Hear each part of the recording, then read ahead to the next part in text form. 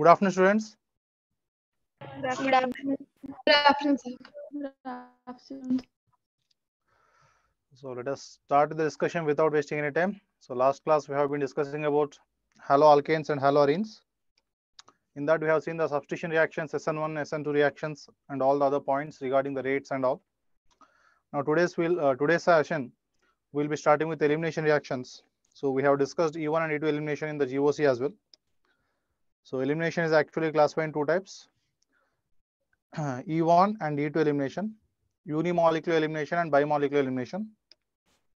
So bimolecular elimination, let us start with the first point. Dehydrohalogenation of alkyl halide. D means removal, hydrohalogenation. Hydrogen and halogen both are removed. We are doing the dehydrohalogenation of alkyl halide. It is also known as alpha comma beta elimination or 1 comma 2 elimination. Elimination is actually happening from the two adjacent carbon atoms. That is why 1 2 or alpha beta. E2 elimination similar to SN2, it is a single step reaction. No intermediate is found. But how does the transition state looks like? The alkene like transition state. Yes or no? So we have CH3, CH2, CH2X. So we have carbon and halogen bond. And we said that carbon halogen bond is going to be polar bond. So the shared electron density, whatever you have, that is moving towards halogen, developing partial negative on halogen and partial positive on carbon. Because of the partial positive charge on the carbon atom, this CC electron is moving. Because of this, this carbon gets delta plus plus. Because of this uh, delta plus plus charge, this CH electron density moves, developing partial positive charge on the hydrogen. So base will now try to pick up this proton. CH electron density will be donated to form a new pi bond. The CX bond that is going to be cleaved. So this is how the transition state looks like. CH3, CH, this carbon is about to break a bond with the hydrogen and form a new bond, pi bond with the other carbon atom. And the carbon halogen bond is about to be broken. Base is about to form a new bond with the hydrogen. So this is how your transition state looks like. And I have already asked the question, why can't base pick up the proton from the alpha carbon itself? Why can't base directly pick up the proton from the alpha carbon itself and halogen can be leaved, leading to the formation of alpha elimination like uh, uh, 1 comma 1 elimination? So Due that is not happening hindrance? because of yeah because of steric hindrance that is not accepted. And uh, the base will pick up the proton in such a way such that whatever the alkene is formed no that alkene will have more number of hyperconjugative structures or Saytzeff alkene is going to be formed so this is the transient state. The symbol represent transient states, and this transient state uh, do not exist for longer time because because of more number of uh, groups present, electronic repulsions would be high. So immediately this uh, pi bond is going to be formed. CH3, CH double bond CH2 plus X minus plus BH. This is the major product, right? So base forming a bond with hydrogen CH electrons are forming pi bond. Halogen departing with pair of electron. These three are happening. Base is picking up the proton, base forming a new bond with hydrogen. The CH electron density is forming a pi bond and the halogen is going to be lost, taking out the two electrons from the CX bond. And rate of the reaction depends upon both alkyl halide as well as the base because it's a single step reaction. Rate is directly proportional to concentration of alkyl halide and concentration of base. So in the rate uh, expression, we have concentration of the base. So strong base will be having greater rates towards E2 elimination. Order will be 2, molecularity will also be 2. E2 elimination, in the E2 elimination, 2 stands for bimolecular, E stands for elimination. Okay, that is how E2 elimination or bimolecular elimination can be understood. Rate of E2 elimination is directly proportional to stability of alkane. Why? Because transition state looks like alkane. Looks like alkane. All these points I have explained in detail in the GOC as well. So you, as I have told you at that point also, all these reactions are going to be again overlapping in the upcoming sessions. So tertiary alkyl halide will form an alkene which will be like this CH3, CH3, double bond CH2. Whereas secondary alkyl halide will form an alkene in this fashion like CH3, CH double bond CH2. Primary alkyl will form an alkene like CH2 double bond CH2. How many number of hyperconjugated structures here we can have? So number of alpha hydrogens, six alpha hydrogens. Here we have three alpha hydrogens. Here we have zero alpha hydrogens. And number of hyperconjugated structures is equals to number of hyperconjugated structures is equals to number of alpha hydrogens plus one. Number of alpha hydrogens plus one. Yes or no? So more number of alpha hydrogens, more number of hyperconjugated structures, more number of hyperconjugated structures, more will be the stability. So I can say tertiary alkyl halide will undergo grade E2. The rate of E2 for tertiary alkyl halide will be high, then for secondary and then for primary.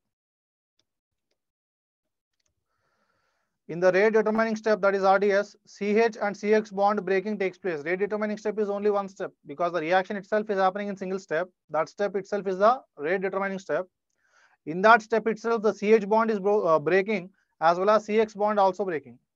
So what you can say, hence uh, rate of reaction will depend on the bond strength of these bonds. Rate of reaction will depend on bond strength of these bonds. That means if I have carbon iodine bond, that bond can be easily cleaved.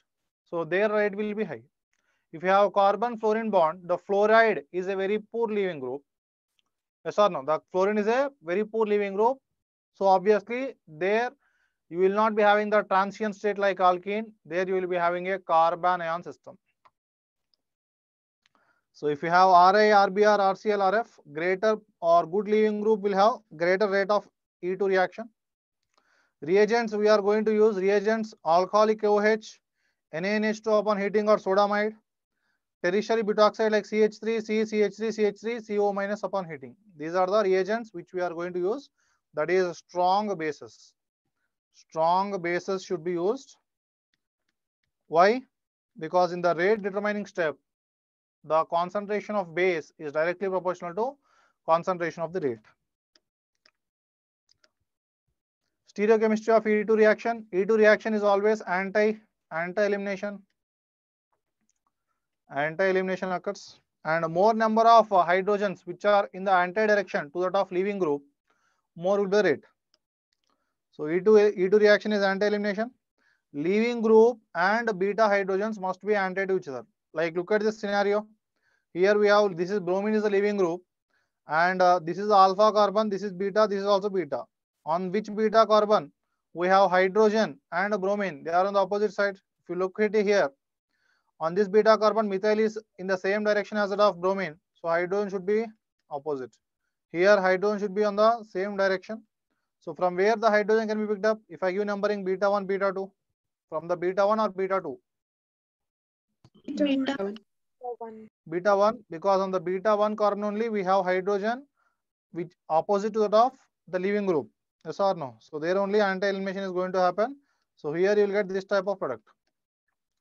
Double bond will placed here. And now as soon as the double bond is formed, this methyl which was above the plane of the paper or which was towards our side, that will automatically come to the plane because this carbon becomes sp2 hybridized. Bromine has been lost. Base picked up the proton. CH electron is to come into loss of carbon bromine bond. Here we can have methyl as it is because that carbon is still sp3 hybridized. This is going to be the major product. Right? What happens? CH3, CHBr, CH2, CH3, alcoholic OH. So we have this scenario CH3, CHBr, CHH, CH3. If OH minus alcoholic KOH, if OH minus picks up this proton, this CH electron H3 comes into this carbon bromine leaves. There you will be getting CH3, CH double bond CH, CH3. This is going to be 2 butene, which is going to the major product. We cannot have this proton picked up. There you will be getting 1 butene, which is going to have less number of hyperconjugated structures. So this will be minor. Saytzeff product or Zaitsev product, which is a major product, and the other product is Hoffman's product or minor product. Yes or no? Saytzeff product or Zaitsev product, that is going to be the more stable alkene or more substituted alkene. More substituted. Less stable alkene or less substituted alkene. Less substituted alkene. And in case if you are getting alkenes where the number of hyperconjugated structures are same, that is number of alpha hydrogens are same, then what you have to compare? Like we have this scenario, CH3CE.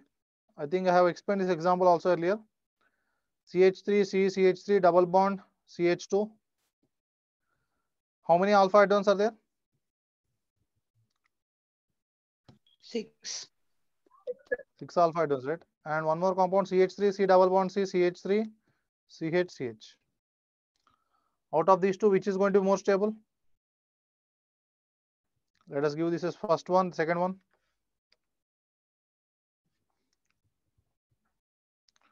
In the second compound, how many alpha hydrogens are there, students? Six. Six alpha hydrogens. In the first one, how many hy- hyperconjugate structures? That is, how many alpha hydrogens are there? Six alpha hydrogens. How to compare now?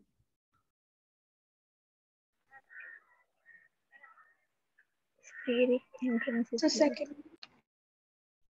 Second one, why? So because Less uh, period. both the Yes, please. CH3, C double bond C, CH3, CH2. This is a one compound. Okay, let me write in the next page.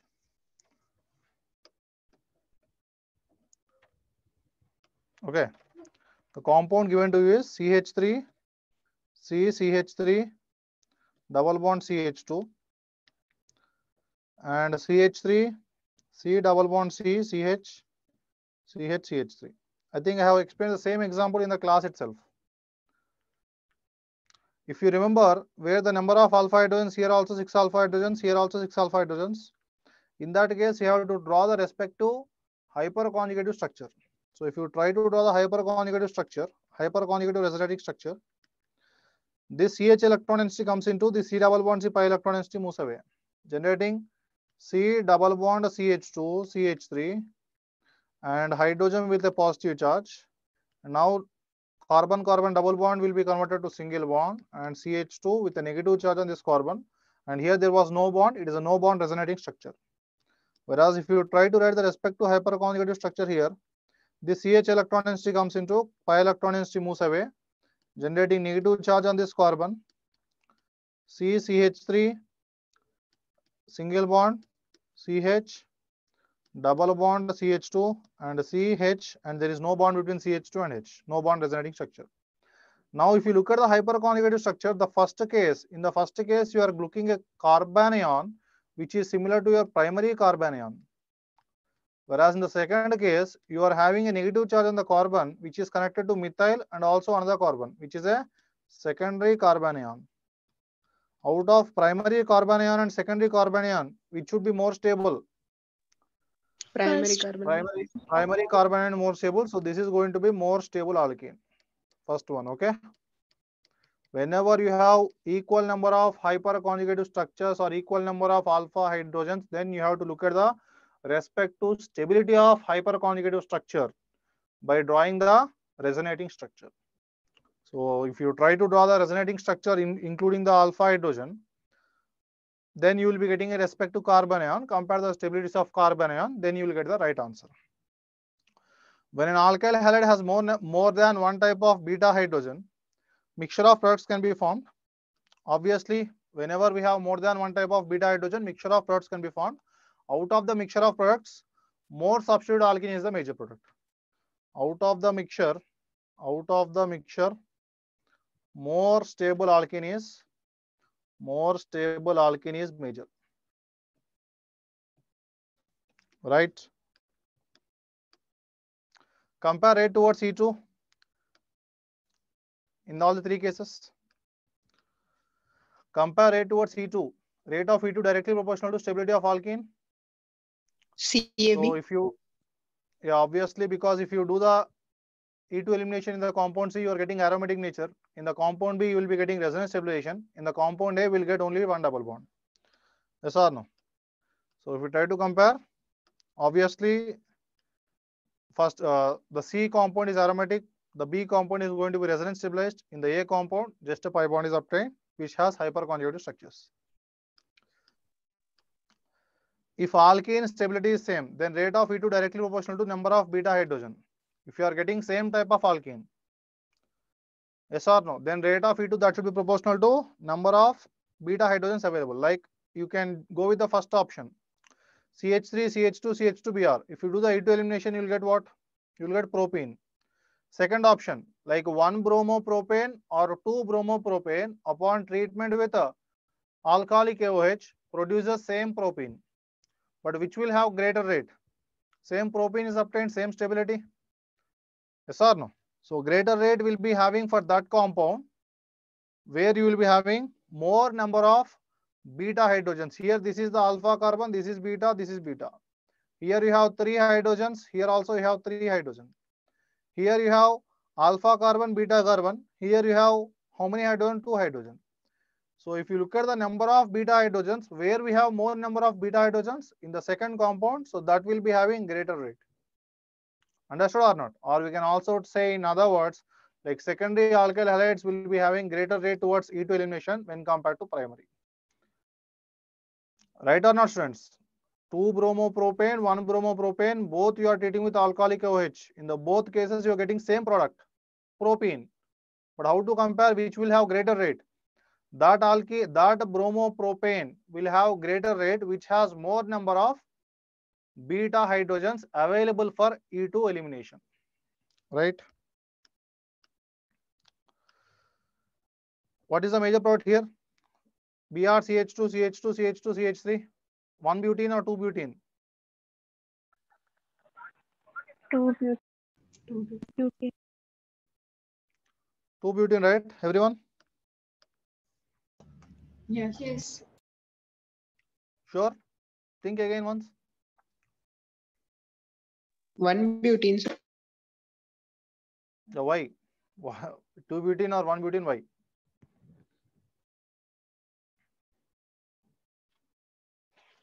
Because if you think of alcoholic OH, you have to always think of, you have to always think of what?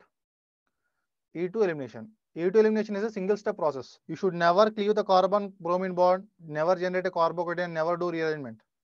That is all wrong. So here in the E2 elimination, alcoholic OH means the transition state looks like alkene. So you have CH2, Br, this is alpha carbon connected to beta carbon, only one beta carbon available. This is the beta carbon. CH2, CH3. From the beta carbon, OH minus picks up the proton, CH electron density comes into, you'll get CH2 and a carbon bromine bond leaves, double bond CH, CH2, CH3. Only one beta carbon available. If I take a one bromo butane, I am getting, I am getting one butane as the major product. That's it. There is no possibility of two butane, right? If I have two bromo pro- uh, two bromo butane, then I do the alcoholic OH, then there is a possibility of two butane. Because you should never think of carbocation in E2 elimination. Alcoholic OH is E2 elimination, where the transient state looks like alkane. It is not a carbocation intermediate. Got it? So you get one butane as a major product. Here, what is the major product you get? What is the IUPAC name of the major product? Use the IUPAC name of the major product. I think I have given this example also. This is taking the stereochemistry into picture. So we have this is alpha carbon, this is beta, and this is also beta. On this beta carbon, methyl is away from us. So hydrogen should be towards us. Bromine is also towards us. So they are not anti to each other. So this hydrogen cannot be picked up. Here we have CH2. One hydrogen is away, other hydrogen is towards us. So OH minus will try to pick up the proton, which is opposite to that of bromine, uh, bromine that is leaving group. CH electron density comes into carbon bromine leaves. You get what type of product? You get this type of alkene, which is nothing but how to name this alkene? 1, 2, 3 trimethyl cyclohexane. Here what you will get students?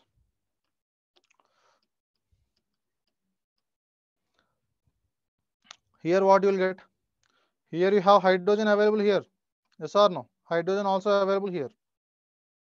So both the possibilities are there, but base picks up that proton only, which is going to be anti, but both cases anti-hydrogens are available. So, but now you have to think of more substituted alkene so we'll be getting this product as a major product. Yes or no? So based on anti-elimination.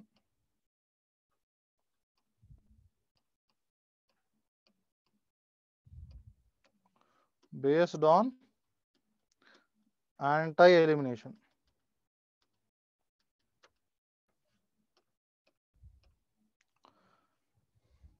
Along two products are going to be obtained out of which this is going to be the major here only one product is obtained because the anti-elimination following. If you follow anti-elimination only this is the possibility. The other product there is no possibility at all. Try to look at the compound here. PHCH2 CHCl CHCH3 CH3 alcoholic OH even though you can form a double bond this is alpha this is beta this is beta. Let us say this beta 1 beta 2 from which carbon? Like beta 1 carbon or beta 2 carbon the hydrogen is picked up? Beta one. Um, beta 1 only because you should not think of always more substitution because you have phenyl group here. Because of the phenyl group here if we get a double bond which is in conjugation with the pi electron density of phenyl ring that is going to be more stable.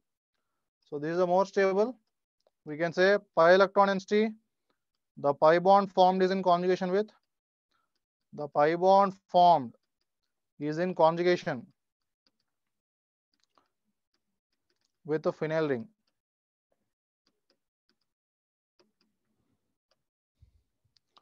this is going to be minor.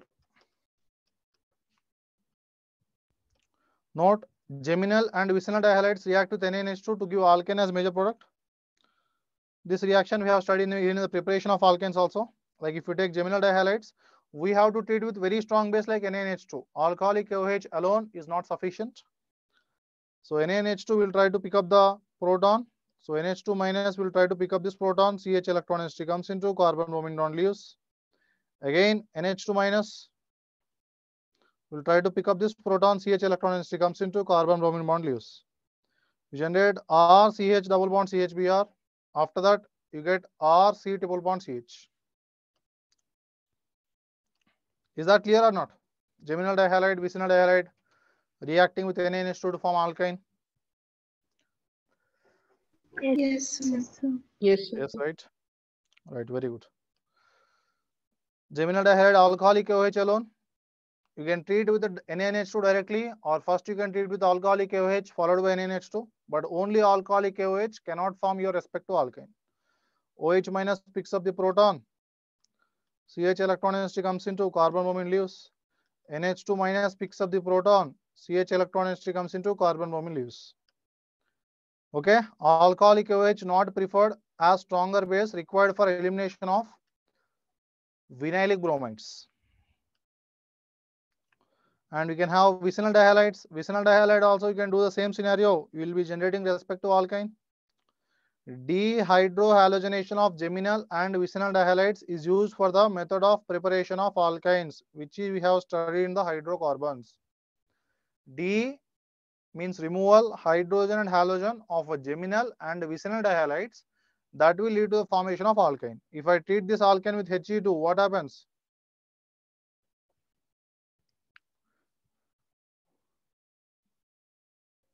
Hg2 alkyne, immediately what should come to your mind?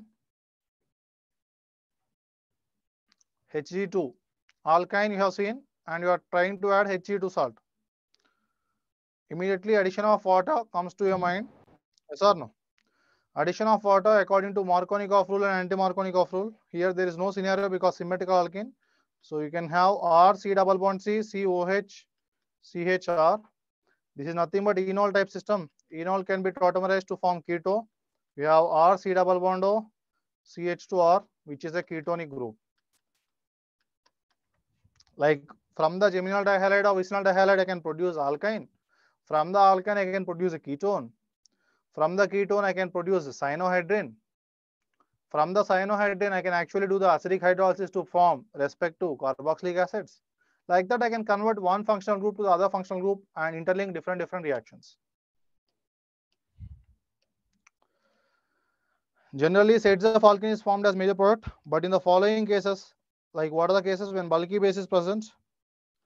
Case 2, when substrate is having a poor leaving group like fluorine NR2 plus, and case 3 also you can write when there is extended conjugation. When there is extended conjugation, you have to go with the Hoffman's alkene as a major product. It is not about Hoffman or Saytzeff. It is not about Hoffman's alkene or Saytzeff alkene. It is all about the stability of transition state. I have repeatedly said this many times earlier also. We should not directly say Hoffman's alkene or Saytzeff alkene. We all know that. But what actually decides which alkene is going to be formed is the stability of the transition state. When the bulky base is there, that bulky base cannot go and pick up the proton from the carbon where we have more steric repulsions. So it will go with the sideways. Whenever we have a poor leaving group, then the transition state looks like carbanion. So more stable carbanion we have to think of. Whenever there is a possibility of extended conjugation, then the transient state may be resonance stabilized. That path only you have to choose. It all depends upon the stability of transition state students. So case one when bulky base is present. So we have tertiary butoxide. So it's a very strong base CH3, C, CH3, C, CH3, O minus. This will try to pick up the proton. So we have this alpha carbon, beta 1, beta 2. So out of which beta, among beta 1 and beta 2, which beta carbon is going to be providing the hydrogen to the base? Beta 2. Beta 2. Beta 2 because terminal, obviously less steric repulsions. So leading to the formation of 1 butene. This is going to be the major product, which is also called as Hoffman's alkene. Right? Very good. How to generate the respective alkoxide like tertiary butoxide if you want to produce, how we can generate? We have CH3, C, CH3, COH. We are treating with sodium. Sodium is a very strong base. Active metals are very strong bases. Alcohols are very weak acids. Active metals can react with alcohols. Acid-base reaction can occur. Phenols can react with active metals as well as NaOH. But if you take uh, carboxylic acids, they can even react with NaHCO3. So Na can form Na plus and electron is lost. And you have CH3, C, CH3, C, CH3, COH. And now we have Na plus ion. So whatever the OH electron density we have, that is going to be moving towards oxygen. And oxygen is going to attack this Na plus. That means you will be generating CH3, C, CH3, CH3, O minus Na plus. And you have H plus ion lost that H plus which is lost that will try to pick up the electron to form hydrogen atom. So I can say H2 gas is going to be formed half mole. Yes or no? So CH3, C, CH3, C, CH3, COH plus Na gives CH3, C, CH3, C, CH3, O minus Na plus plus half mole of H2 plus half mole of H2 and this is how the reactions are going to be done. Like why we have explained this reaction means to generate a tertiary butoxide, we can actually treat tertiary butyl alcohol with a active metal like sodium. So tertiary butoxide, the base can be generated in this fashion. So that tertiary butoxide, you can now act as a, uh, you can now act it as a base and do the elimination where Hoffman's alkene can be produced. Write the major product here. This is alpha carbon, this is beta, this is also beta, this is also beta. But the base is a bulky base. Bulky base picks up the proton from that carbon where we have minimal steric repulsions. So that will pick up the proton from this terminal like beta 1, beta 2, beta 3 if I give. Which one? Which beta carbon is giving the proton? Beta 1. Beta 1. Beta 1 will be giving. So obviously you will get double bond CH2 outside of the ring. That is going to be the respective major product. This will be major and it is minor. And the same product you have treated with alcoholic OH, what happens? Like if I give beta 1, beta 2, beta 3. Beta 2 and beta 3, are they same or different? Beta 2 and beta 3, they are same because of symmetry. So beta 1 is the alkene, uh, beta 1 carbon, if it picks up the proton, there you will get less substituted alkene, whereas beta 2 and beta 3 produces more substituted alkene. So in this case, this will be the respective major product and the minor product will be in this fashion. Minor product will be double bond CH2. Is everything clear students so far? Yes, yes, sir. This is all just repetitive study. Okay, we have studied earlier also. You can enjoy it now. Like all the points we are revising. When substrate is having poor leaving group like fluorine NR3 plus, like CH3, CHF, CH2, CH3, alcoholic OH. Now we have, whenever we have a poor leaving group, again we have to look at the stability of transition state. The transition state looks like a carbanion. We get this as the ma major product, that is 1 butene. The reason is, yes or no? Remove hydrogen from that beta carbon where negative charge is more stable. This indicates transient state looks like carbanion. We'll write the transient states. We have CH2 minus, CH2H is the right. The CH2H, CHF, CH2, CH3. This molecule picked up by a base.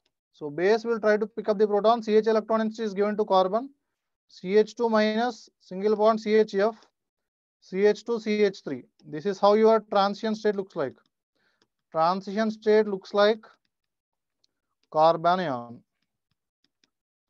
So since the transition state looks like carbanion, more stable carbanion is going to be the major product uh, leading. So this is primary carbanion, which is more stable. If I get a negative charge here, that will be secondary carbanion, which is unstable. Carbanion is also the intermediate in which other reaction? Carbon From the set of reactions, whatever we have studied so far. I'm not asking from the reactions which you have, which you are studying above. As Decarboxylation. of now, yeah, very good. Decarboxylation. Decarboxylation of beta keto acids. Is that carbanion? Or six member transition state? Six member transitions. Six member transition state, right? Very good. So now what happens? This is alpha carbon, this is beta carbon, this is also beta carbon. So we have to produce negative charge. Whenever we have poor leaving group, carbanion is the transient state. You think of this carbanion. CH minus CHF, CH3, and the other carbanion in this fashion. CH2, CHF, CH2 minus. Which is more stable? Lower. The second one is, yeah, the second one is actually resonance stabilized. So resonance stabilized. So obviously base will pick up this proton. So you get a double bond, which is in conjugation with the pi electron entity. This is going to be the respect to major product and this will be the minor product. Okay. Because the carbanion, whatever it is obtained, that is actually resonance stabilized with the pi electron instead of the phenyl ring. Because of that resonance stabilization, you have this particular carbanion more stable and obviously that will lead to the major product formation. Here what is going to happen?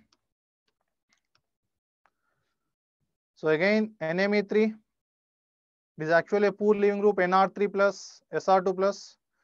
We have you will be having carbanion. So here you have negative charge and here you can have negative charge. So negative charge on this carbon is more stable. So obviously that will lead to the formation of 1 butene. What are the poor leaving groups? F NR3 plus SR2 plus. These are poor leaving groups.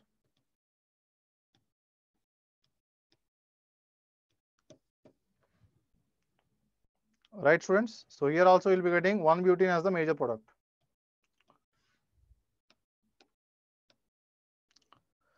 Then comes the E1 elimination. E1 elimination is E1 means unimolecular elimination and it occurs in how many steps? Two steps. Two Two steps. steps. Very good. And uh, in the E1 elimination, in the rate of the reaction, does the rate depends upon the concentration of the base? No, sir. Oh, concentration of the base is not there. So what type of bases we have to take? Weak base or strong base? Obviously, Weak base. weak base we have to take. And what are the more most commonly used weak bases? High water and alcohol. Okay, the if you if you think of SN1, the in SN1 also we should take a weak nucleophile. What are the more commonly taken weak nucleophiles? Water Alcohol. and alcohol only. So water and alcohol, they can act as a weak nucleophile. They can also act as a weak base. When I can call them as acting as a weak nucleophile, and when I can call them as acting as weak bases, like whenever the temperature condition is mentioned, then you have to do elimination. In that condition, they will be acting as weak bases. Whenever temperature is not mentioned, then you have to think of think them as weak nucleophile and do the substitution. Because E1 and E2, E1 and E2 requires high temperature. Requires high temperature as bonds are cleaved. Okay. Whenever we have a strong base, strong base are some set of bases, alcoholic OH, NaNH2, alkoxides, tertiary butoxide. These are strong bases. Whenever strong bases are given, you have to always think of E2. whenever weak uh, bases are given, like alcohol and water, they can also act as weak nucleophile. Whenever temperature is mentioned, you have to think of E1 elimination. Temperature not mentioned, you have to think of SN1 reaction substitution. And SN2, whenever you have to do, whenever we have a strong nucleophile, whenever you have a strong nucleophile. It's a two-step reaction, carbocation intermediates form, rearrangement is possible. CH3, CCH3, CCH3, CX. First step is the slow ionization to form a carbocation, RD, RDS, rate determining step. So we get a carbocation like this. So in the rate determining step, the carbon halogen bond is going to be cleaved. So what type of solvent I have to choose? Polar protic or polar aprotic? Polar protic. Why? Because if I take a polar protic solvent, the polar protic solvent will actually ionize this bond easily. The carbon halogen bond, whatever you have, that bond can be easily ionized in the presence of polar protic solvent because the polar protic solvents can actually uh, solvate the cation as well as anion. So they will be helping in ionizing the bond. So we get a carbocation. So polar protic solvents are used and base will now try to pick up the proton to form a respective alkene. Remove leaving group and form carbocation. First step, check rearrangements. Whenever carbocation is formed, always check the rearrangements. Then form double bond. Then you form the double bond. Next stage is kinetics of the reaction. Radius, uh, RDS, rate determining step is formation of carbocation. In that step, only we have alkyl halide. So rate is directly proportional to concentration of alkyl halide only. So rate is independent of concentration of base. Rate is independent independent of concentration of base so so weak bases are preferred for weak bases are preferred for E1 elimination. Molecularity and order both are going to be 1. E1 means unimolecular elimination reaction. Unimolecular elimination reaction. This is all basic part. Rate of E1 is directly proportional to stability of carbo carbocation. So E2, if you look at the order, 3 degree greater than 2 degree, then 1 degree. E1, if you look at the order, again it is going to be 3 degree, then 2 degree, then 1 degree. That is tertiary carbocation, uh, tertiary alkyl halide has a greater rate to undergo both E1 as well as E2. But the other conditions are going to decide whether E1 is going to happen or E2 is going to happen. What are the other conditions like base? Temperature we have to maintain both the cases. Base has to be a stronger base. In that E2 will occur. If base is a weaker base, then only E1 will occur. So rate of E1 is also directly proportional to stability of carbocation form, similar to your SN1. So tertiary alkyl halide, secondary alkyl halide, primary alkyl halide. So tertiary alkyl halide will have greater rate, than secondary and then primary. Because here you will be getting CH3, C, CH3, C, CH3, C plus, CH3, CH plus CH3, CH3, CH2 plus. And why this carbocation is more stable? More hyperconjugate. More hyperconjugate structures. Always remember, there are few principles. The highest uh, stability is given to dancing resonance. Then aromatic natures. Like you can write down the order. Dancing resonance is going to be highly stable. Then positive charge involved in resonance leading to aromatic involved in resonance leading to aromatic nature.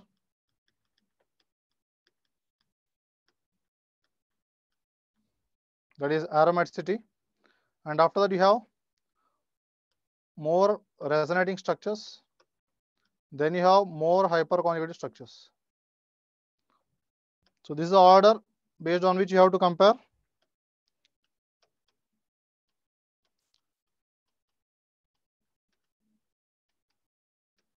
This is the order based on which you have to just compare how the stability of carbocation is going to happen. This dancing resonance will be generally present in cyclopropyl systems. Like these carbocations are going to be extremely stable. And after that, you can have a seven member ring. positive charge in resonance. Okay, so these systems are going to be extremely stable students because here whatever the p orbitals we have, those p orbitals they will bend whenever they bend because of cyclopropyl ring, the p orbitals actually slightly bent because of ring strain. And when they bend and they when when they involve in the positive charge here that there's a possibility of double bond formation. Whenever the p orbital is present in this fashion yes or no. This p orbital this is going to be slightly bent. It will be somewhat like this. And that is in positive charge. That, that is in resonance with the positive charge where the pi bond is going to be formed because, because the p orbitals are bent they look like dancing and that's why the name dancing resonance. And in the cyclopropyl ring systems wherever we have this type of bending and more formation of double bond those types of carbocations are extremely stable. After that if a, even if we have a seven member ring where a positive charge is in resonance with the pi electron density leading to aromatic nature that will be more stable carbocation. Then you can compare the more number of resonating structures and then you can look at the more number of hyperconjugated structures Based on this, you can compare stabilities of carbocations, right? In the rate determining step, CX bond breaking takes place. Hence, rate of reaction will be depending upon bond strength of the reaction. Obviously, good leaving group will have greater E1, similar to your respect to E2 elimination. If we have a good leaving group, because in the rate determining step, again, we have a carbon halogen bond is going to be cleaved. So Ri will be having greater rate towards E1, then RBr, then RCl, and then RF. Reagents used, as I have told you, weak bases, H2O, ROH are weak bases, and the temperature condition has to be mentioned. Temperature has to be mentioned, if not, substitution can be done. If we do not mention temperature, we can do substitution. If I mention temperature, you have to do elimination. Example, look at this reaction. The same type of reaction we have studied earlier where I have just mentioned H2O. Yes or no? So here H2O upon heating. So what happens in the first step? So we have carbon iodine bond is going to be cleaved. Whenever carbon iodine bond is going to be cleaved, you get a carbocation. So this carbocation is going to be the more stable carbocation because already six member ring is there and tertiary carbocation. Now H2O should act as a base. It is not a nucleophile. So this is alpha carbon. So here we have hydrogen, here we have hydrogen, here also we have hydrogen. So H2O will try to pick up the proton. H2O, H2O uses its lone pair of electrons. As soon as it uses lone pair, the CH electron density comes into. So it, it has used its lone pair of electron to pick up the proton and it forms H3O plus and it will lead to the formation of such type of alkene. This is the alkane and the major product. Okay, this is going to be respect to alkene and this will be the major product because more substituted alkene and this will be the minor product less substituted alkene. Clear student? Everyone got this or not? Yes, sir. Yes, right. Dehalogenation of vicinal dihalide. Dehalogenation is also an example of E2 elimination. Like whenever you take uh, zinc dust upon heating, like uh, carbon bromine, carbon bromine upon treatment with zinc dust upon high temperature, what happens? We have the carbon bromine bonds, both are going to be broken. You get a carbon double bond carbon and ZnBr2 going to be formed. Why only we preferably use zinc means zinc has a greater tendency to undergo Zn plus 2, that is, it has a greater ten tendency to undergo oxidation. Zinc has a greater tendency to undergo oxidation based on the electrode potential. The electrode potential depends upon what factors? Radius. Radius ratios ultimately. Why?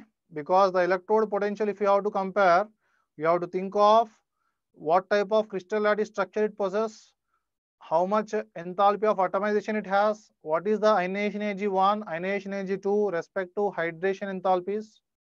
If you think of heat of atomizations, there the crystal lattice structure plays a major role. The crystal lattice structure is ultimately depending upon radius ratios, right? And if you have this reaction again, both the bromines are going to be lost, taken by Zn in the form of ZnBr2, and you will get a cyclohexene. This is going to be the respective major product. Dehalogenation of vicinal dihalides is an example is also an example of E2 reaction, not E1, E2. That means it happens in a single step. And directly you will be having respect to alkenes are going to be formed. Is that clear, students? Is everything clear so far? Yes. Yes, right.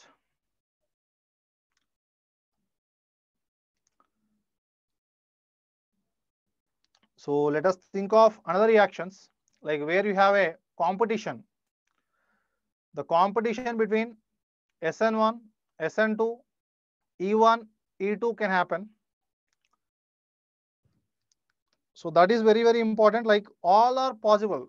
Whenever I am taking, taking a particular alkyl halide, and if I try to do the reaction, you can do SN1, SN2, E1, E2, but there are some set of conditions under which you have to decide which is going to be preferably happening.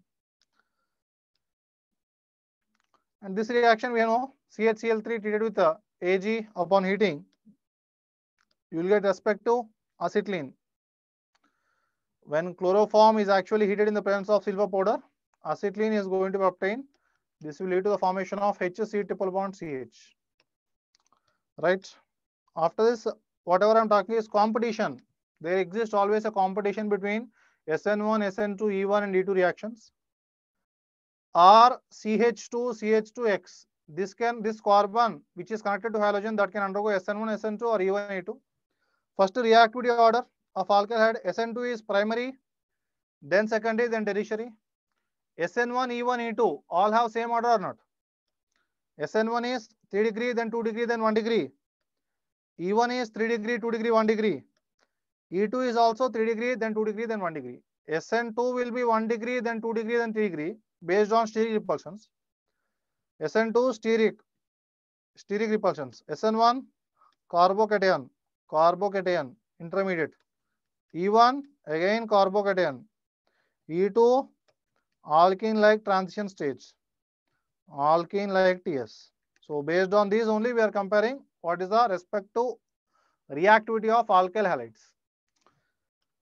And Rx plus alcoholic KOH, NaNH2, tertiary butoxide, whenever these three were given to you, alcoholic KOH, NaNH2, tertiary butoxide, you always think of E2.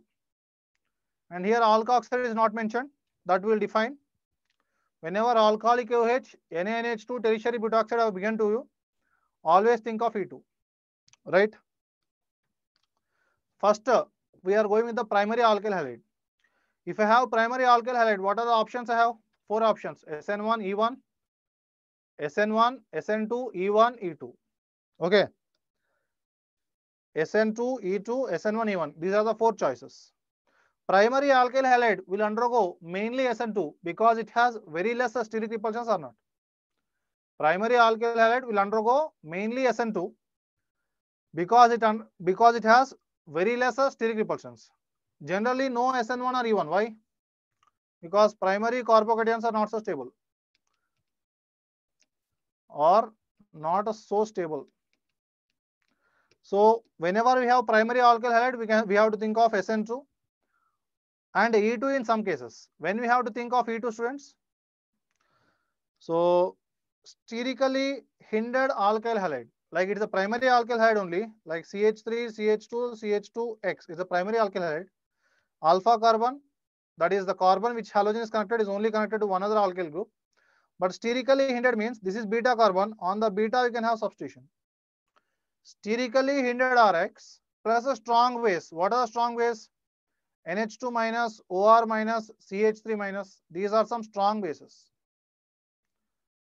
CH3 minus, OR minus, NH2 minus. Sterically hindered primary alkyl halide and a strong base that will lead to elimination. If not, it will undergo substitution. Everyone understood this point or not?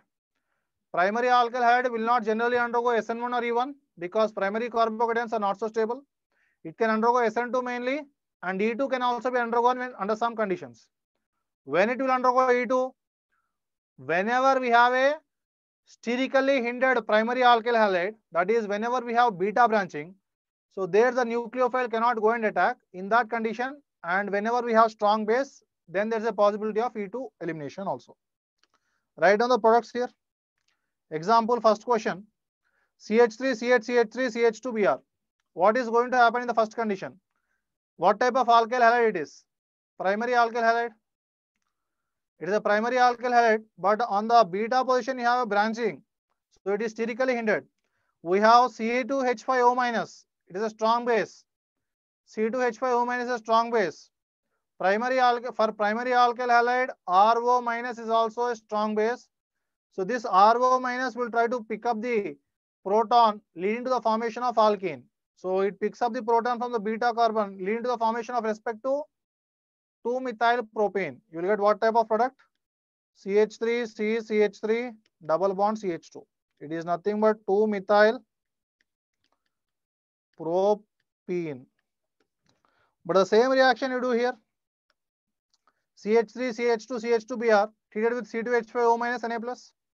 It is a primary alkyl halide. Primary alkyl halide. This is also primary alkyl halide. Primary alkyl halide, but on the beta position, do we have a branching? No, sir. No branching. So C2H5O minus will now act as a nucleophile or it will act as a base.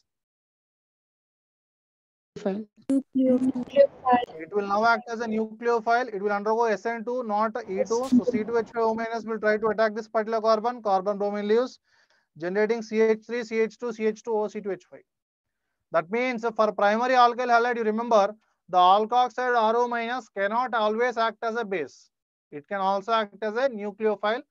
When it will act as a base for primary alkyl halide, whenever we have beta branching. Whenever we have beta branching. When we do not have beta branching, it can act as nucleophile. Got it? Look at this example. CH3, CH2, CH2Br, alcoholic OH. What type of alkyl halide is primary alkyl halide? Primary alkyl halide. What are the very strong bases I have told you? Alcoholic OH, NaNH2, tertiary butoxide, CH3, C, CH3, C, CH3, O minus, Na plus. It doesn't matter what type of alkyl halide is given to you. Whenever you find these, you have to think of E2. think of E2 only. So it's a primary alkyl halide and we are treating with alcoholic OH, very strong base. Now, will I do the substitution or elimination? E2 only have to do. So OH minus picks up the proton. I'll, I'll get to the formation of respective propene. So I'll get CH3, CH double bond CH2. But whenever I have RO minus, alkoxide, primary alkyl halide alkoxide, alkoxides are not very strong bases as you compare with this. So that alkoxides can undergo elimination as well as substitution. They will undergo substitution when there is no beta branching, then undergo elimination when there is a beta branching. So you had a propane here. CH3, CH2, CHBr, CH3, what type of alkyl halide is? It is Primary. secondary alkyl halide. Primary or secondary? Secondary alkyl halide. So we have CH3, C, CH3, CH3O minus. What is it? Tertiary butoxide. Tertiary butoxide always you think of elimination, E2 elimination. What type of product is going to be obtained as a major product? Butene. But butene or but1ene? Bulky base. Butanine. But1ene. Okay. But one in is going to be obtained as a major product because it's a bulky base. Okay. So although in the example of primary alkyl halide, we have given a secondary alkyl halide, we'll look at secondary alkyl separately. So for primary alkyl halide or any other alkyl halide, whenever we have alcoholic OH or NaNH2 or tertiary butoxide, you have to think of E2 only. But for alkoxide, you can think of SN2 and E2. When we have to think of SN2, when there is only uh, no branching at the beta position. When there is branching at the beta position, you have to think of E2. Right? Secondary alkyl halide next. Secondary means you can undergo SN2, E2, SN1, even all four possibilities are there. SN2, E2, SN1, E1. Alkyl halide strong base E2, strong base here, CH3 minus, OR minus, NH2 minus. Here also you have to think of E2 only. Uh, SN1 and E1, they are also possible. Like whenever we have alkyl halide treated with H2 or ROH, SN1, E1, in that SN1 or E1, we require either weak nucleophile or weak base. What are the weak nucleophiles and weak bases which we generally encounter in our 12th standard? water and alcohol. Whenever we have water or alcohol, without any heating condition, you have to do SN1. Water or alcohol with the heating condition, you have to do E1. Okay. Alkyl halide treated with a water, hydrolysis or alcohol. No heating condition mentioned. Then you have to do SN1 is major. Alkyl halide treated with a water or alcohol with the heating condition, then you have to mention E1. Alkyl halide strong base like NH2 minus, OR minus, CH3 minus, then you have to write E2. If we do not have strong base, the other nucleophiles are going to be there, strong nucleophiles. Under that, you have to do SN2. All are possible here. Let us look at the writing of products, different products in different sets of reactions. Look at this case. What happens? What type of alkyl halide is? Primary or secondary? Secondary alkyl halide. Secondary alkyl halide, they have mentioned H2O. H2O, no heating condition. So what you have to do? SN1. SN1. SN1. So form a carbocation first. Do the rearrangement. 1 comma 2 hydrate shift. You generate more stable carbocation. Now we have to think of H2O attacking. Substitution, right? Nucleophilic substitution. So CH3 oxygen will have two OH bonds with one lone pair and a positive charge. Loss of H plus occurs to form respect to alcohol. That is going to happen in the first case. That is easily accepted. Now we have this type of alkyl. What type of alkyl halide is? CH3, CHBr, CH2, CH3. Secondary alkyl halide. For secondary alkyl halide, RO minus will act as a nucleophile or it will act as a base. Base. Base. It cannot undergo SN2, right? Because of three repulsions. Only for primary alkyl halide, when there is no beta branching, then only RO minus acts as a nucleophile. For secondary alkyl halide, RO minus will act as a base only. It will form RO minus is not a bulky base, so it will try to pick up the proton in such a way such that sets of alkene obtained. So what is going to happen in the first case? What is the product here? Butane or butane? Butane. Doing. Butane, not one in because RO minus is not a bulky base. NaCN, Na plus Cn minus. Cn minus is acting as a nucleophile or it will act as a uh, base. Secondary alkyl we have Cn minus, OH minus. They are not going to be weak bases or weak nucleophiles. So you can eliminate SN1 and E1. You have to think of SN2 or E2. Now whether cyanide ion will act as a strong nucleophile or strong base. It will act as a cyanide ion is not a strong base. It's not a very strong base. So it will act as a strong nucleophile only. So it will undergo SN2. SN2 will happen leading to the formation of respective SN2. First one is going to be E2 and aqueous KOH means K plus and OH minus aqueous nucleophilic substitution only. Again here also you are going to have SN2 or SN1.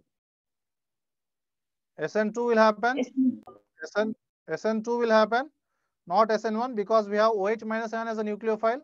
So strong nucleophile, not a weak nucleophile. So first case you will get E2, alkene is obtained. Second case you get cyanide, SN2, cyanide is present there. And third case you will get a OH present at that particular carbon atom. So we have SN2 happening. I am saying it as SN2. Yes or no? Because strong nucleophile is there. Tertiary alkyl halide. Tertiary alkyl halide. Now think of students. All the four possibilities SN2, E2, SN1, E1. All four possibilities you can list out. SN2, E2, SN1, E1. No SN2, SN2 is not happening. E2 can happen in some cases, very strong bases. Okay, very strong bases whenever you think of. E2 can happen because tertiary alkyl halide will undergo. For E2 also, tertiary alkyl halides have a greater rate for undergoing E2 whenever we have a strong base. And SN1 and E1 both can happen. When will SN1 occur? Whenever we have a weak nucleophile and no temperature. When will E1 occur? Weak base and temperature has to be mentioned. Temperature condition has to be mentioned. Then only we can think of E1 or E2. Now think of these reactions. What type of alkyl halide is CH3, CBr, CH3, CH3? It is a tertiary alkyl halide. Tertiary alkyl halide treated with H2O, no heating. So what it will undergo? SN, SN1. SN1. SN1. So carbocation form. So that will be replaced with OH group. So we get exactly bromine replaced by OH. CH3, C plus CH3, CH3. In the presence of water, it will form respect to alcohol. CH3OH. CH3OH is weak nucleophile. Yes or no? It is a weak nucleophile and no heating condition mentioned. So that's why I'm calling it as nucleophile. Same as H2O, again it is undergoing SN1. So you get carbocation, then undergoing substitution leading to the formation of respective same OCH3 is going to be substituted now. Because lone pair of electrons and oxygen they will attack the respective carbon. Or you can say this attack. Lone pair of electrons and oxygen they will attack this particular carbon leading to the formation of oxygen connected to CH3 and OH bond. And finally that loss of H plus will occur to form OCH3 CH3O minus CH3O minus is a strong base or strong nucleophile will it act as a nucleophile for the tertiary alkyl halide it cannot act as a nucleophile CH triple bond C minus CH C triple bond like. CH triple bond CH is weak acid. Weak acid. So respect to H plus plus H C triple bond C minus is going to be strong base. CH3O minus strong bases. CH triple bond C minus strong base.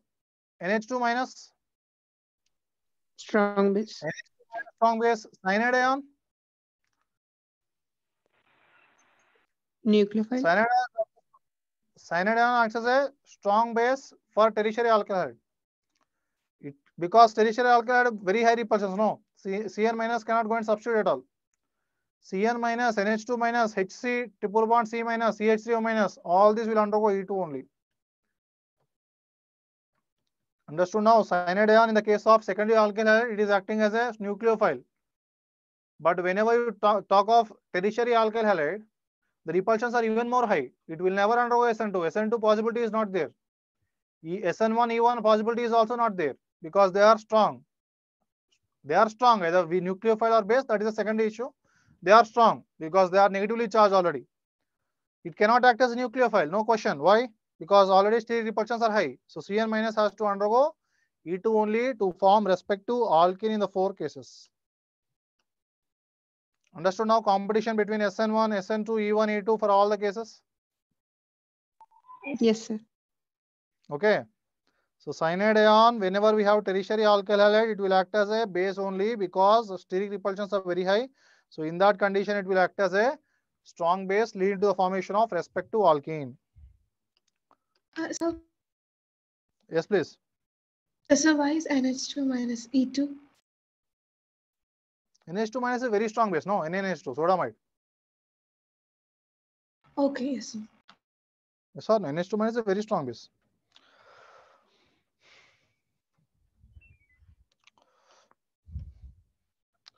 Then after the competition between SN1, SN2, E1, E2 for different types of alkyl halide, we look at the reactions of alkyl halide with metal students. Alkyl halide react with the metals to form respect to Grignard agents. So Grignard agent preparation and chemical reaction. Rx plus Mg in the presence of dry ether, it will form RMGX. CH3Mg plus uh, CH3Br plus Mg gives rise to CH3MgBr in the presence of dry ether. Dry ether is actually a polar. Dry ether is actually a polar aprotic solvent. Polar aprotic solvent. In the presence of uh, magnesium, alkyl halides will undergo insertion reaction to form respective Grignard reagents. PHBr plus Mg in the presence of dry ether that will also react to form respective Ph MgBr. Yes or no? Carbon, nitrogen, oxygen, sulfur, fluorine, chlorine, bromine, iodine. So these are the metals. Yes or no? Grignard reagent behaves like a base, reacts with compounds containing acidic hydrogen. What is acidic hydrogen?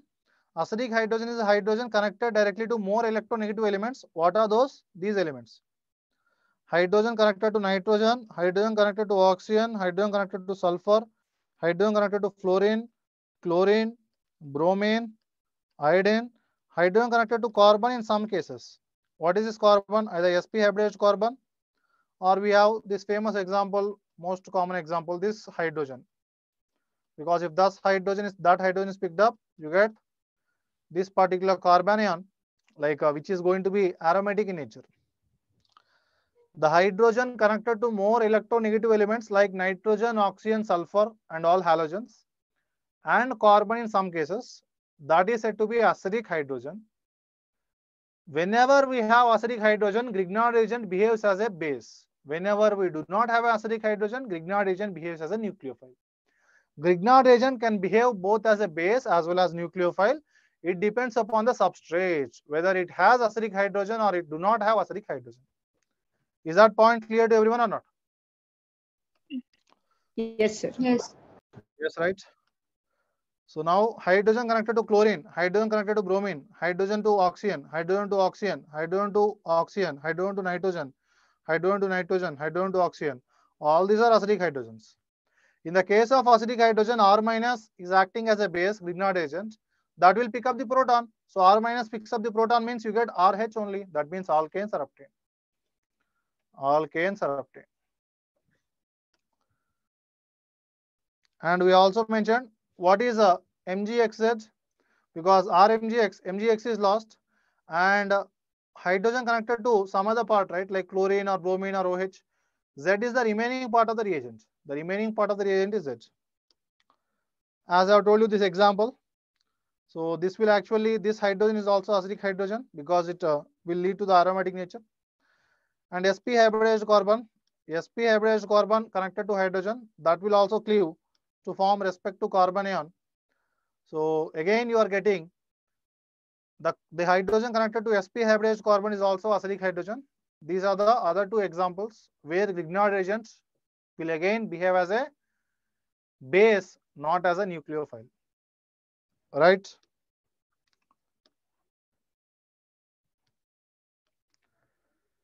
Understand this reaction? What is the major product of this particular reaction? Try to solve all of you. What is the major product of this reaction?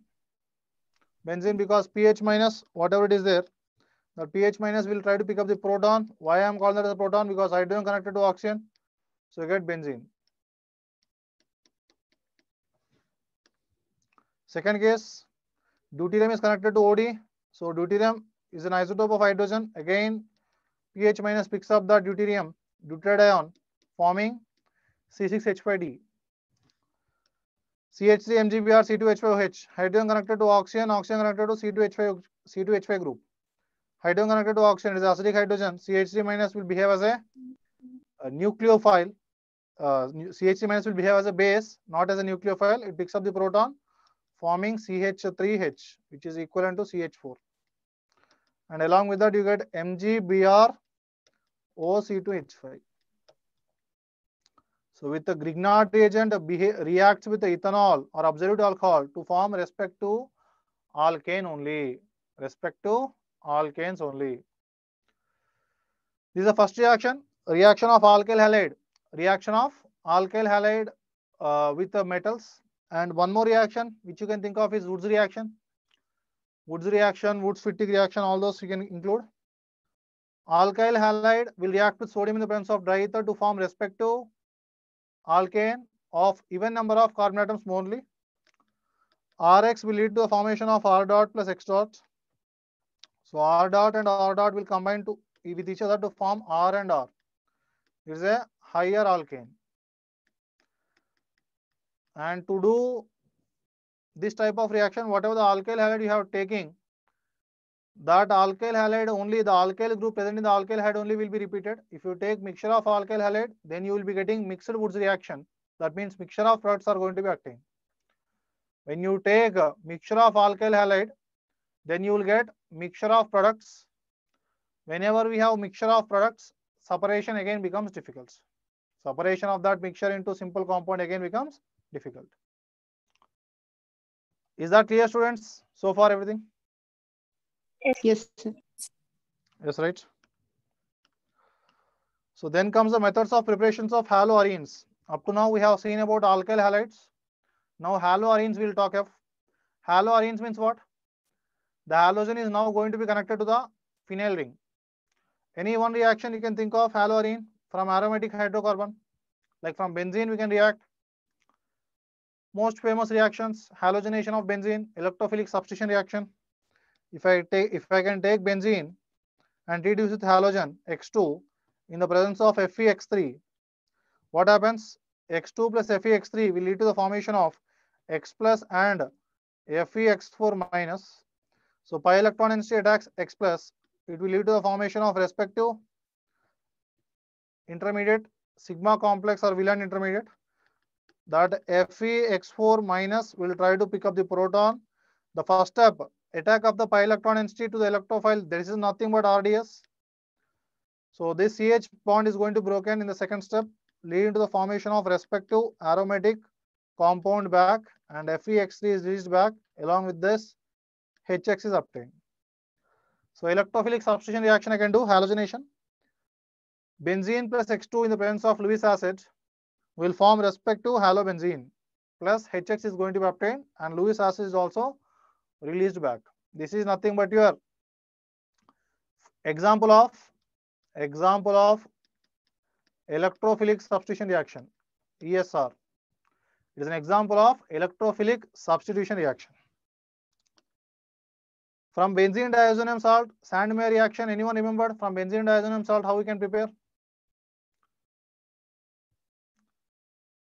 How can you prepare benzene diazonium salt at the first point? Uh, NaNO2 and HCl. Aniline, if you treat with NaNO2 in the presence of HCl, it will form respective benzene diazonium salt, N2 plus Cl minus. How is this happening? Aniline, when you treat with the NaNO2 in the presence of HCl, you get benzene diazonium salt. I'll explain the mechanism now. You try to look carefully. NaNO2 in the presence of HCl produces what? NaNO2 in the presence of HCl will form HNO2 nitrous acid. That HNO2 will have the structure N double bond OH. Again, we have H plus. Lone pair of electron present on oxygen, they pick up the proton. As soon as they pick up the proton, you get N double bond O. Oxygen only one lone pair, two OH bonds and a positive charge. This mechanism again is going to be repeated in the nitrogen and its compounds. I'll ask a question, you have to answer there. This OH bond, like uh, oxygen possesses a positive bond, uh, oxygen possesses a positive charge, oxygen nitrogen bond is there, right? That sigma electron density is going to give to oxygen because water is going to be lost. Generate N double bond O with a positive charge on nitrogen and water is released. So I can say N double bond O plus is the N double bond O with a positive charge on nitrogen. It is nothing but the nitrosonium ion. Nitrosonium ion, which is electrophile. Which is the electrophile. Let us complete this reaction first.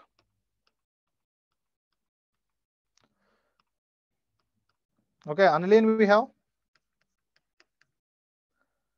Aniline can write as PHNH2 so that we can finally write Ph as C6H5 group.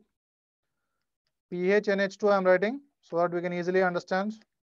And we have N double bond O with a positive charge on nitrogen. Can I say lone pair of electron present on nitrogen, they are going to attack the positively charged nitrogen. That is going to happen in the first step.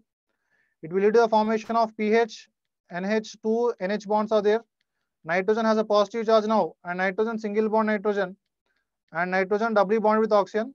The positive charge on this nitrogen has been nullified.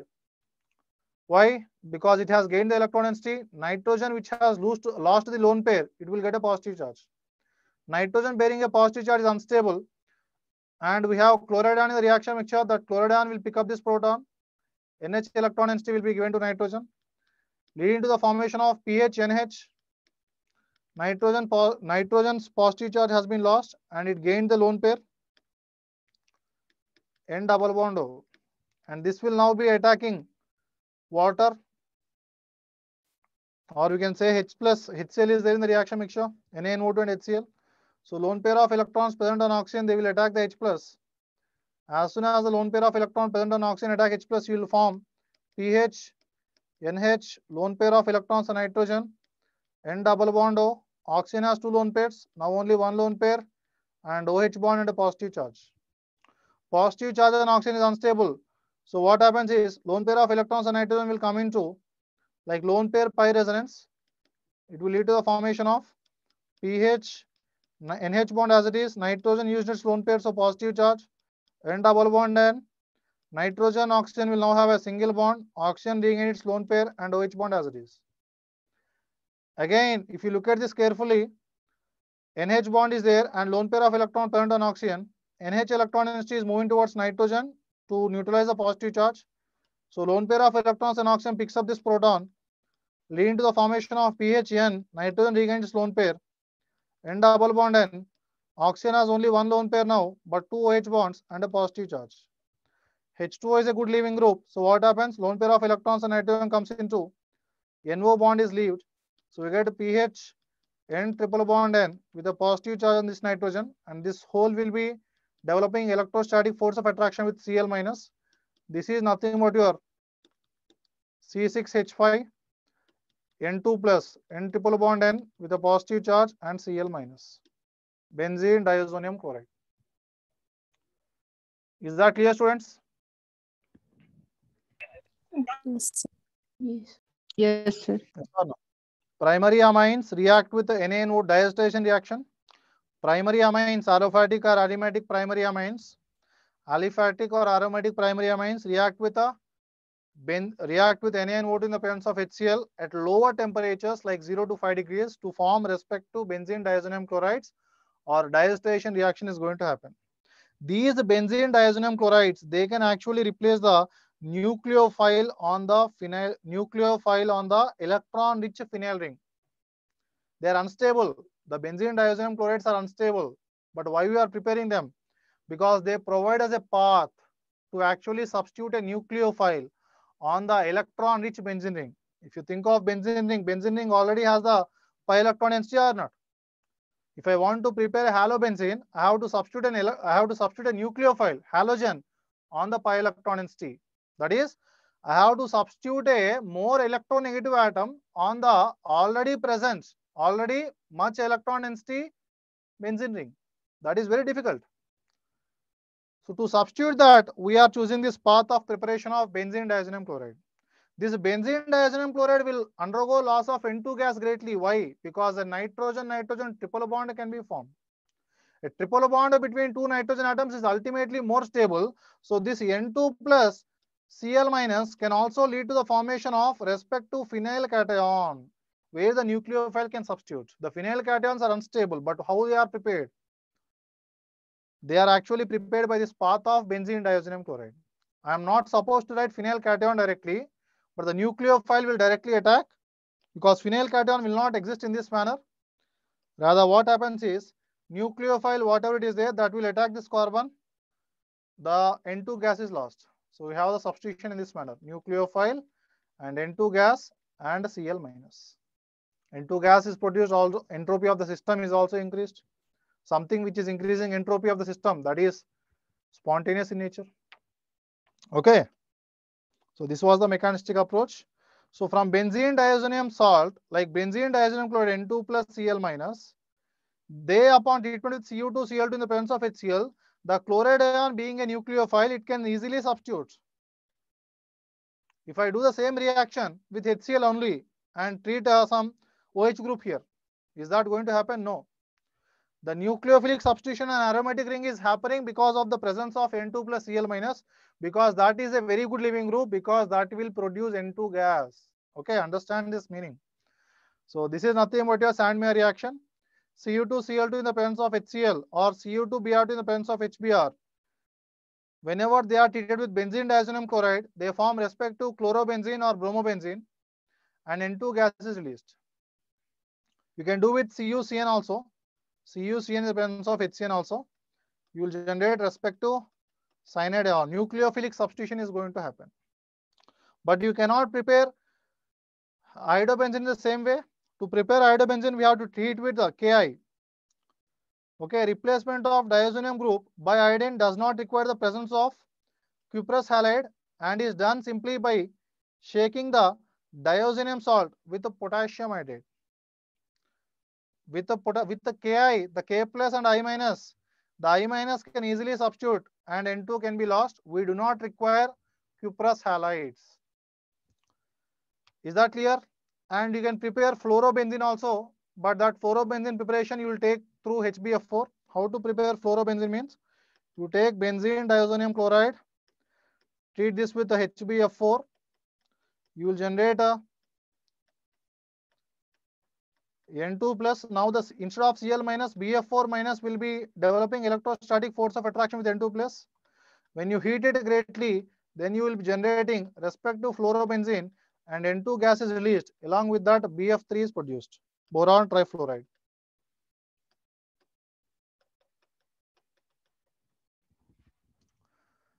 Is that clear, students? This is the way to actually prepare chlorobenzene, bromobenzene, iodobenzene, and fluorobenzene using the path of benzene diazonium chlorides, right? Electrophilic substitution reactions of haloarenes. If you take haloarenes, what, what I have told you? The haloarenes, they are ortho-para-directing or meta-directing? Ortho-para-directing. The direction of the electrophile is decided by mesomeric effect, whereas reactivity is decided by reactivity of halobenzene. Yeah, that is decided by inductive effect. So whenever I take uh, halobenzene like chlorobenzene, treat with CH3Cl in the presence of AlCl3, what product I will be getting? CH3Cl AlCl3 means electrophile is CH3 plus.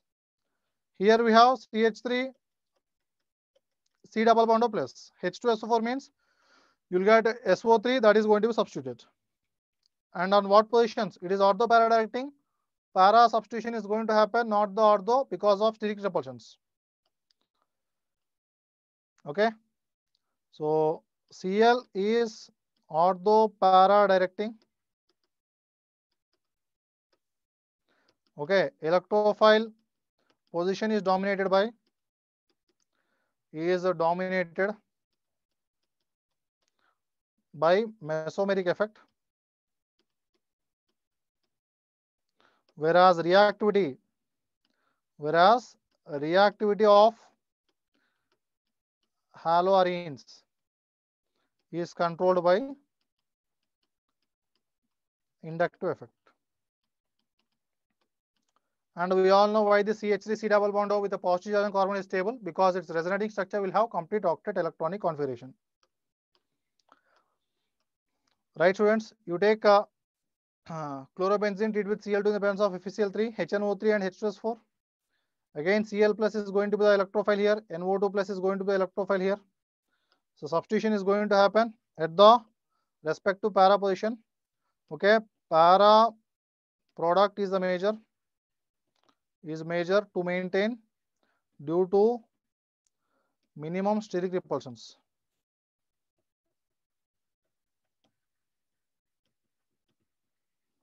Para product that is going to be major to have or to maintain minimum steric repulsions. Like that, you can actually control the respective reactivity of chlorobenzene. Chlorobenzene will undergo electrophilic substitution reactions only. Halobenzenes will undergo electrophilic substitution reactions only.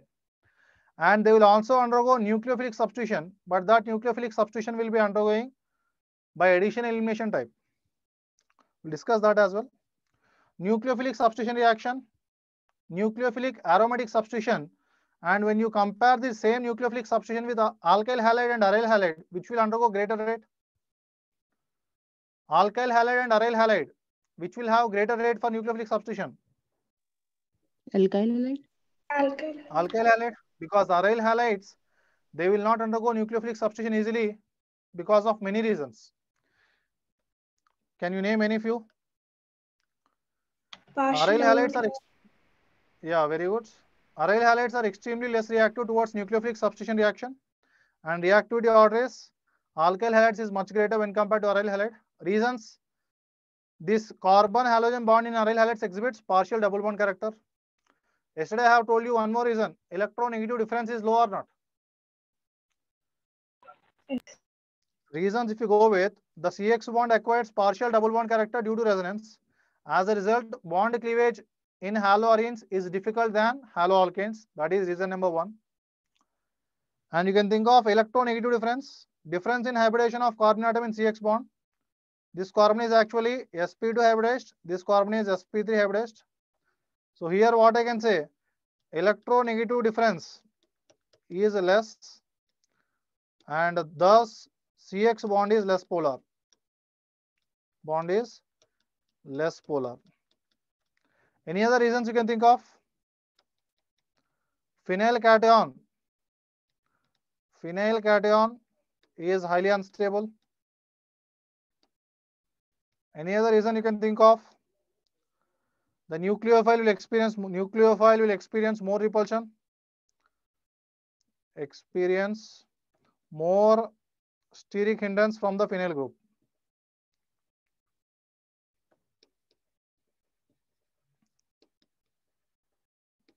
There are few reasons, students. Nucleophile will experience more will experience more steric hindrance from the phenyl group. Phenyl cation is highly unstable, and electronegative difference between carbon halogen bond that is very low because it is a sp2 hybridized carbon which is more electronegative and halogen, and also the carbon halogen bond exhibits partial double bond character. Because of all these reasons, the nucleophilic substitution on the aromatic ring will happen only under very high temperatures and very high pressures.